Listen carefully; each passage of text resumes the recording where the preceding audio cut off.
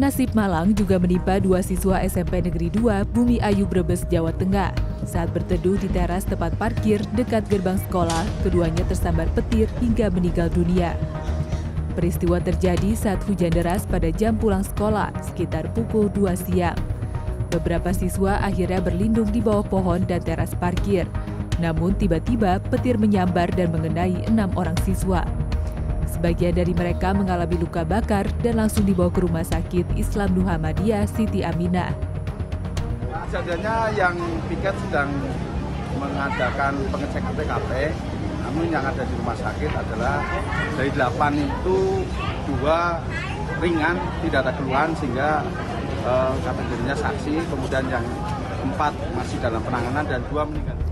Dari keterangan pihak rumah sakit, saat ini empat korban masih dirawat dan satu di antaranya dalam kondisi kritis. Mana itu anaknya, Mas? Awalnya katanya mau pulang tapi hujan nunggu di teras katanya Pak. Di teras mana? Di teras musol, di teras parkiran Pak. Iya, iya. Untuk luka-lukanya anaknya, Pak? Luka-lukanya di punggung Pak sama di bawah telinga Pak.